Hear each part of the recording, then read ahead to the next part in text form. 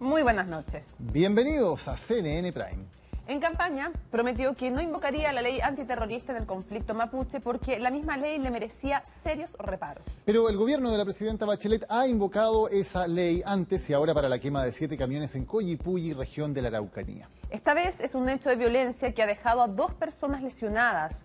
El expresidente Piñera respaldó la medida y prometió incorporar a dicha ley la figura del agente encubierto. Hay dos críticas fundamentales al uso de la ley antiterrorista. La primera es que puede violar los derechos de los investigados por el uso, por ejemplo, de testigos sin rostro. Y así lo han denunciado relatores especiales de la ONU y también la Corte Interamericana de Derechos Humanos, que por ejemplo en 2014 condenó al Estado de Chile por sentencias contra Mapuche que violaban el debido proceso.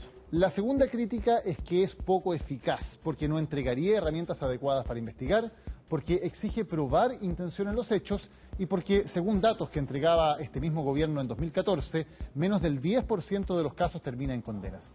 De hecho, en su anterior mandato, el expresidente Piñera aceptó hacer cambios a la normativa presionado por una huelga de hambre de presos mapuche que se extendió por más de 80 días. Es que hacer campaña no es lo mismo que gobernar y en asuntos tan complejos como este, bien lo saben por experiencia propia Piñera y Bachelet, otra cosa es en la moneda.